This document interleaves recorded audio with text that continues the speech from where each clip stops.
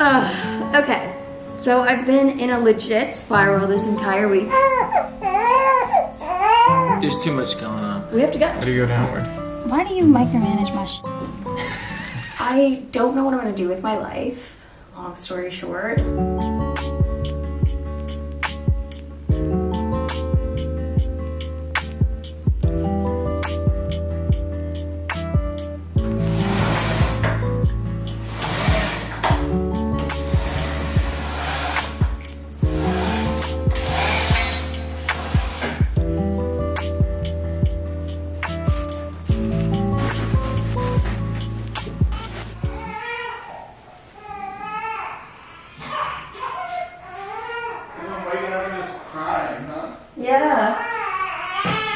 Good morning.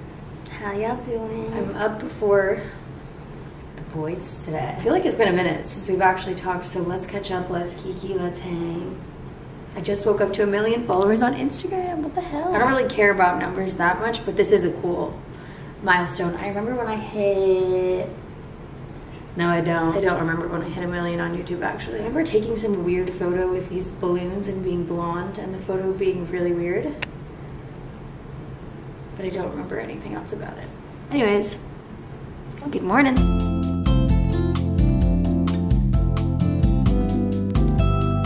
Every night has been kind of the same routine-ish, which has been nice to have some sort of repeating patterns and consistency, especially with our, hold on, let me go put this down. I'll be back. Also, mood. Oh, oh My tiny mic is always everywhere. If you follow me on TikTok, like be for real, because I love my tiny mic, but then I got a comment that made me want to cut my tiny mic. I think it's just fun to have it in my hand and I like the crispy audio and I don't know. I just got used to filming my TikToks a certain way that whenever I say anything or do anything, I'm like, but I read a comment. It was like, it is so millennial of you to use a tiny mic when we can hear you perfectly without it. And I was like, no offense to the millennials, but you know, like, I feel like there's a certain love that I have for being Gen Z because I barely made the cut. So that's why I rep it so hard because I'm like, you know, I'm one of y'all. but the millennial comment with the tiny mic almost sent me to throw this over the balcony. But I, I like the time. I don't know. Let me know. Most of these nights we'll have the Sopranos on. He makes a fire steak. There was like two solid years there where he would we would get into fights because he would talk through every step of the steak. Like he loved it. It was like fun for him to like season the steak and be like, I'm seasoning the steak. I'm doing this today. I'm doing this today. And like really talk through every step. And at one point I'm like, Henny, can I just be here? Like, can I just hang out and not like be involved on every step of this steak process like i was starting to get annoyed reason being all these years later it clicked oh i feel bad was because i was getting so annoyed because he would walk me through every step and the steak would come out decent i'm gonna sit through an hour tutorial of how to make a decent steak and he finally perfected his craft and when i tell you this man has been making the juiciest like fat ribeyes fat new york strips and i'm like okay you got my attention so now we hang he talks me through his steps and it comes out fuego. It's been good. These nights at home have been good.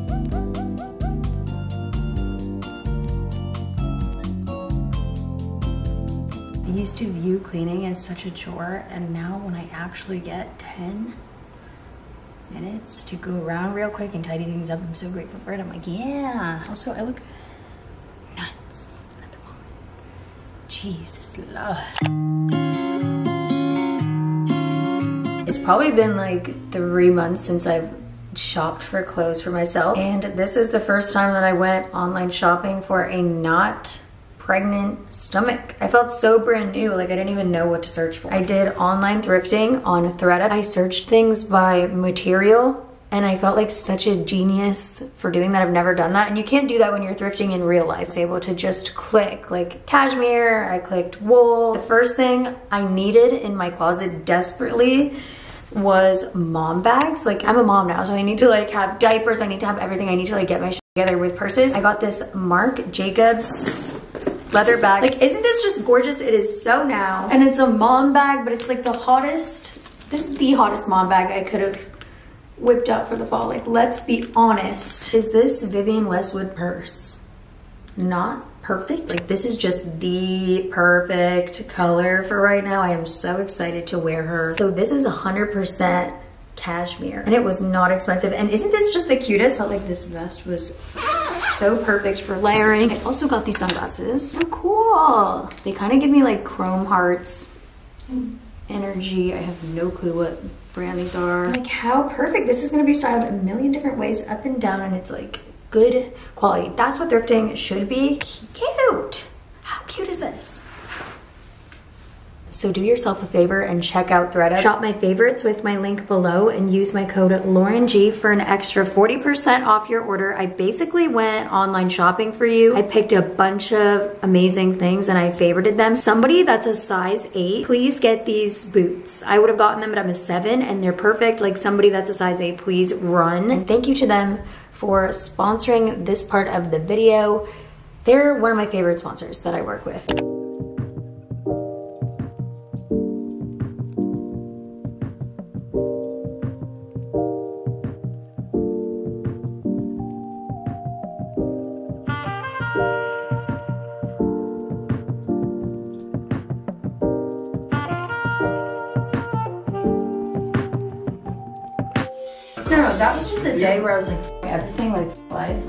Was just a negative spiral that I was having. I was like, I don't even want to be in Miami. What are we gonna be for Halloween? I thought what would be cute could be Shrek, Fiona, and Donkey. That is so cute. Right? Isn't that so cute? But it also it like requires a lot of painting ourselves green. You would be Shrek. No, you. Isn't that cute? You would be the donkey. The only thing with that costume that I don't know is like, it, if we're not green, does it still hit, or do we like? And then it's a lot of face painting. Like you just walk in the room green. No, it's like face, arm. And we have no party, no anywhere to go. Like we're just no, where are we gonna go for Halloween? We're just gonna stay in our living room, like fully greened out. what can we be for Halloween? That's that typey. I heard his stomach go a little bit. He might spit up in the next 25 seconds. Maybe not. Look how he already does it. He does his little tongue. Or he's pooping. Oh, he's pooping. Huh? I smell the poop. I huh? Are you poopy? Are you poopy? It's a gorge. Okay, I wasn't even gonna talk about this, like ever, on the channel, cause like, ugh. Even talking about it annoys me, but I have time today. So this, oh, no. Looking at this is gonna throw me into a spiral. I've been spiraling all week. Ugh, should I talk about it? I'll talk about it. Ugh, okay.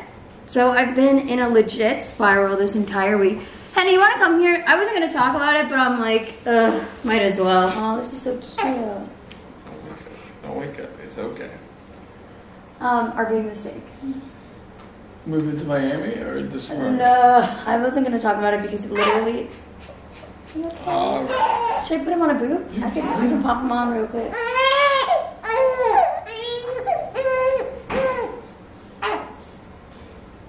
Also, I'm so proud of myself that I got the breastfeeding so down. Like, I remember seeing videos of girls just throw the baby on the teat and it just works. And I was like, literally, how is that possible? But I got it. Um, when we moved into this apartment, we knew that there was concrete restoration going down on the balconies. Oh my god, honey, I can't talk about this. I'm gonna go into a spiral. Can you do it for me? Good. My heart rate's going up. No, you've been doing great. No, I'm gonna go into a spiral. There was, it was supposed to be over. It's not over. It's gonna be the whole time. Freaking out. Don't know what to do. so we knew that there was concrete restoration on the balconies, and we knew that there was some other stuff to it, that they're gonna cover every window with this like neon blue tarp. And there's jackhammering. Now, we were told that it was gonna be done by the time the baby was born in September. That's what the timeline was. They are barely just, hold on. So they're barely just getting started now. It is the, I took videos.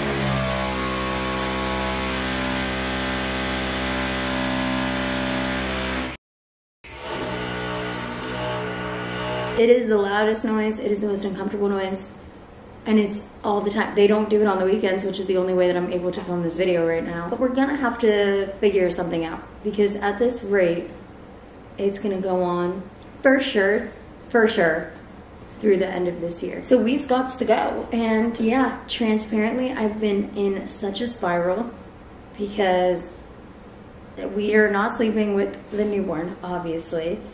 So every two hours we're up at night, and then we wake up at nine in the morning to jackhammering and drilling, so we can't even sleep during the day. It's been a thing. And I feel like we just made such a big mistake. You talk, you talk. We had a big house. We left the big house, and now we're planning to go back to the same big house, making all of this feel like a huge mistake.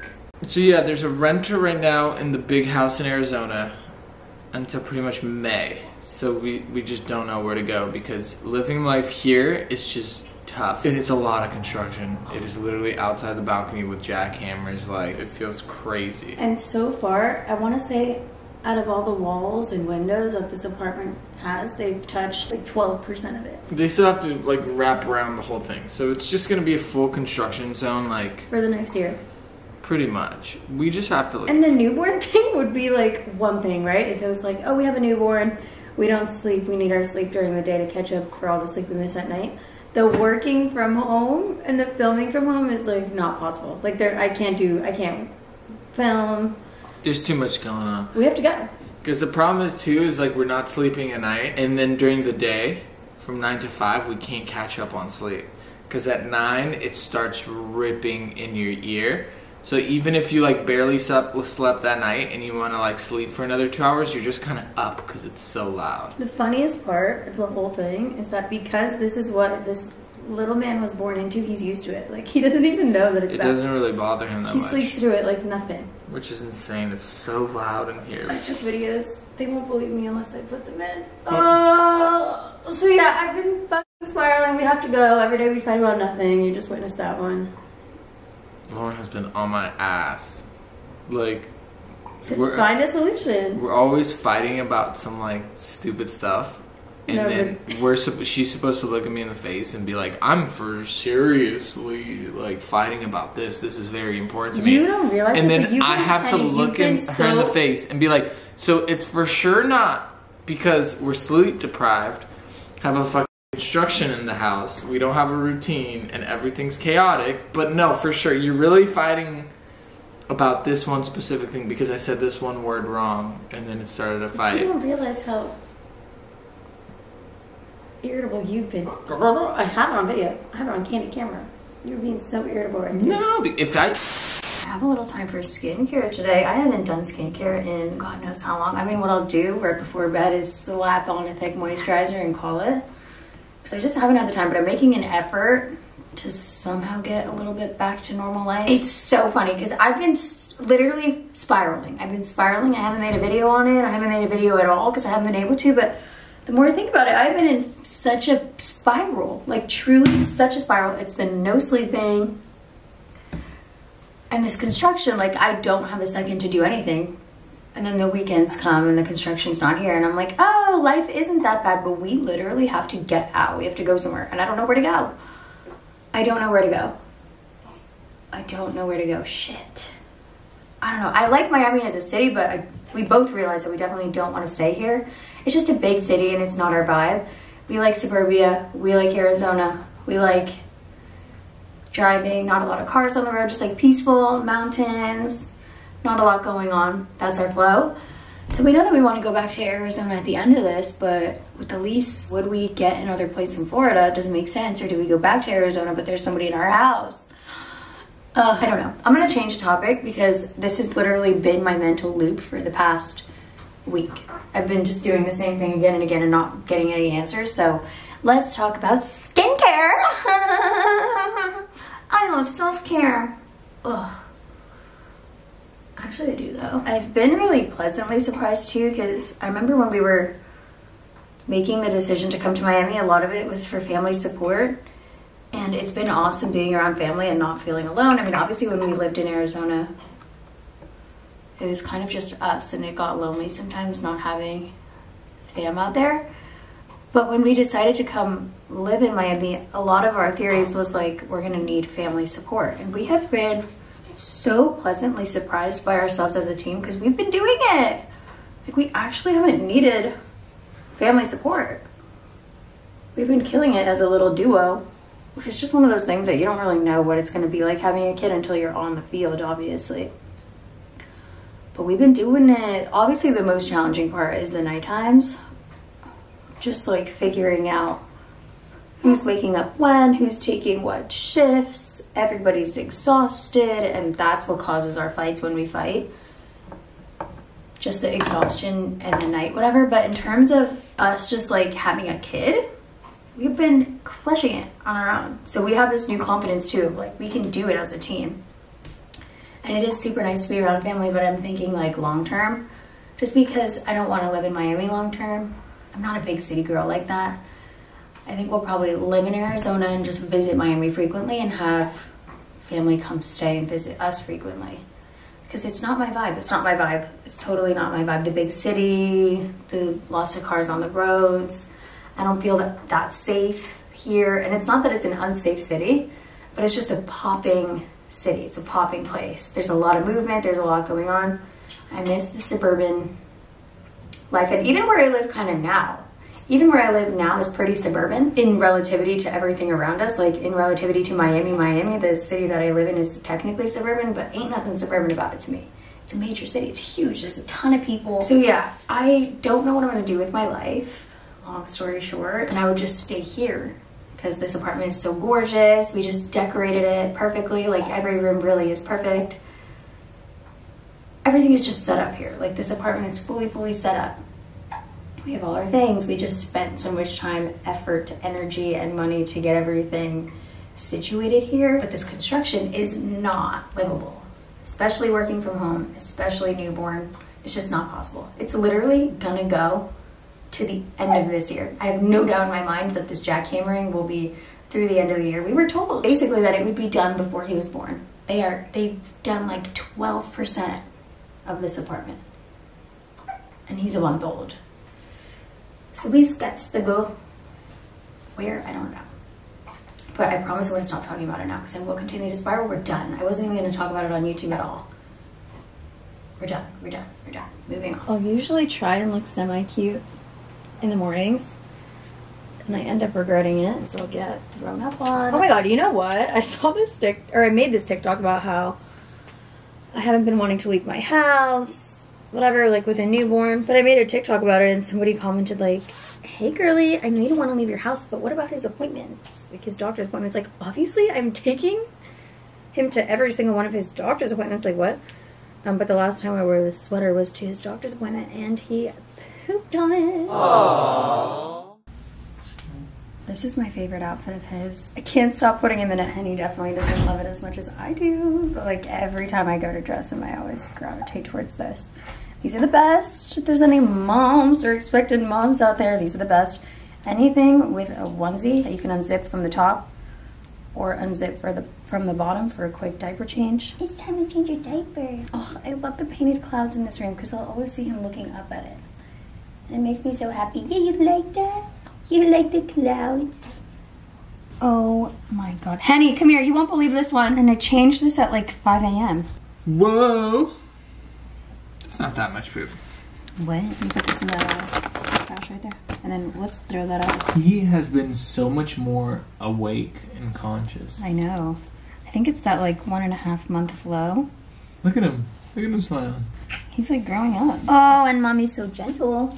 Mommy's the best at it. I really want to pick his booger right here. That's a lot of poop, my baby. What the hell? Why are you pooping so much? You gotta hit him with a fresh new wipe. I'll start changing more the diaper more in the middle of the night as well. I've usually assumed like that you wake up first and that he he has one. Got a little funkiness on your fingers. Oh no, my whole shit's fucked up. You're such a good boy, Rio. You're not even crying. Coterie goes crazy. It's like the the way that they market themselves is they're the Rolls Royce of diapers. But like low key, yeah. Is that how they market themselves? Yeah, that's I follow them on Instagram. They're like, that's what they said, but it's kind of true. Why do you go downward? Why do you micromanage my shit? Is it not supposed to? Because it's what I do.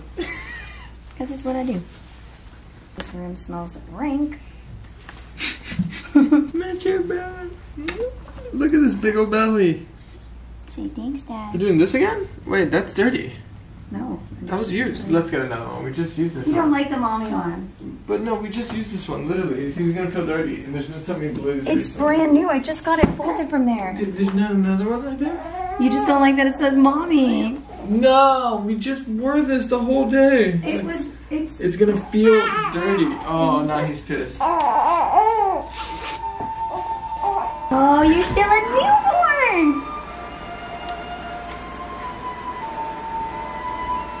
Little newborn.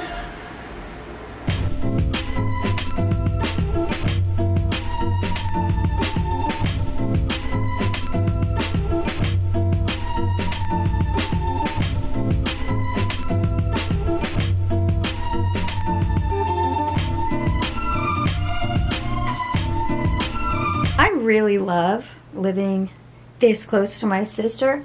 That is one thing that hits about Miami so hard.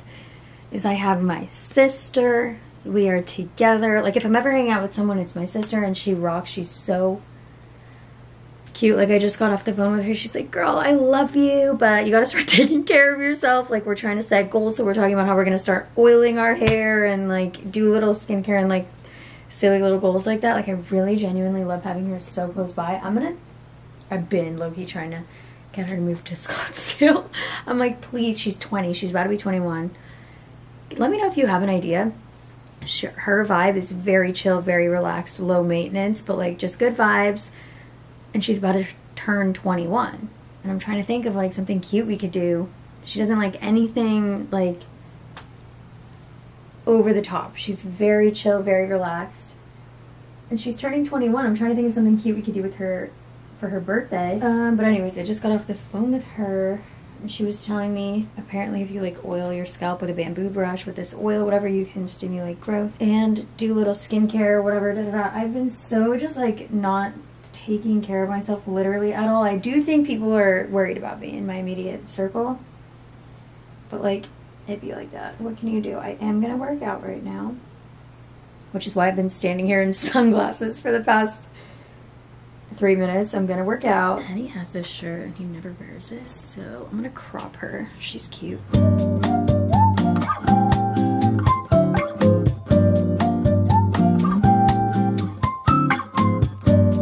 feel like it's weird to work out with sparkling water, but I cannot be stopped. This is my guiltiest, guiltiest pleasure. Doing 12 330 has been very nice for the mental. It's probably the one thing I'm doing for myself consistently right now, so it just feels good to get out of the house for 30 minutes and do one healthy thing. It's so cool that we're gonna have all these videos like shot on a good camera to have like forever. Oh yeah, she's a baby. He's only a baby. Do you like my mommy manicure?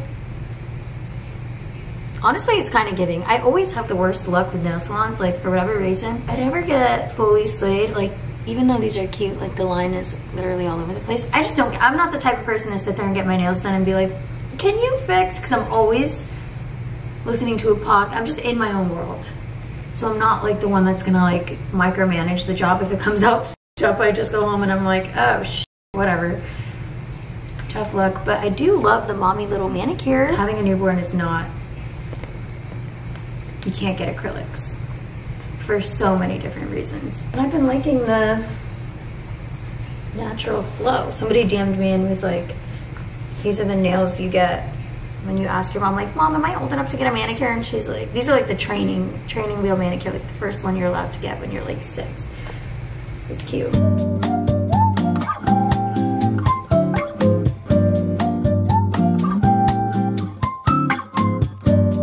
Shop my favorites with my link below and use my code LaurenG for an extra 40% off your order. I basically went online shopping for you. I picked a bunch of amazing things and I favorited them.